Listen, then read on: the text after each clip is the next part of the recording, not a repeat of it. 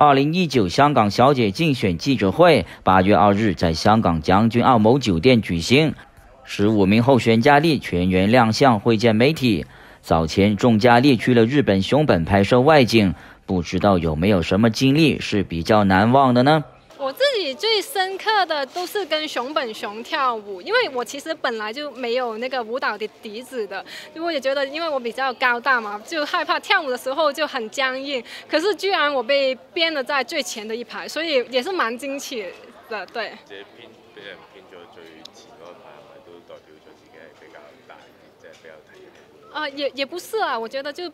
边前面的一排，可能是因为我的笑容比较灿烂吧，也也没有就是大热不大热的关系。嗯，反而是教我们怎么去面对选美这个比赛，就是呃不要太计较那个结果，反而是过程更加重要。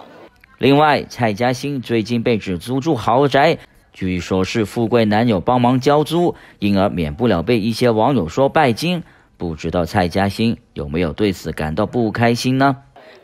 我也有看这个报道，我也觉得就是不知道这些传传闻是怎么传出来的。可是就我发现香港都有一个挺挺有趣的现象，就是当女孩子花钱或是有一些物质的时候，普遍的这社会的定位都会说，嗯，这个女生肯定是花男人钱或是靠男人的。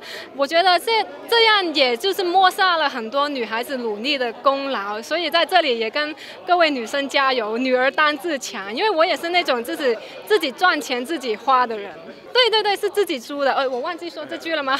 对自己付付钱的，他都没有帮忙。对，还可以。此外，黄嘉文就被传出有隆胸，难道是因为身材变胖变瘦导致视觉上的效果差异？绝对不可能，我是一百 percent 是天纯天然。对啊，我就没有害怕这些传闻，因为是假的。我觉得有没有身材是跟这个肥瘦没有关系吧。对啊，看泳装就知道了，到时候就不用猜。魔方传媒香港报道。